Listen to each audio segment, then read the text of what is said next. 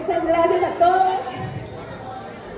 Les quiero decir que mi single cover, que se llama Atado un sentimiento, ya está en todas las plataformas digitales.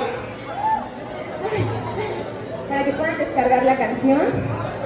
Y este es un pequeño destello de lo que va a ser mi concepto musical. Realmente no es mi lanzamiento oficial. Mi lanzamiento oficial va a ser a finales de año con mi primer single inédito. Pero es para que vean un poquito de lo que se va a tratar el concepto. Este es un poquito más, más girly. Y pues espero que lo disfruten mucho. Atado un sentimiento.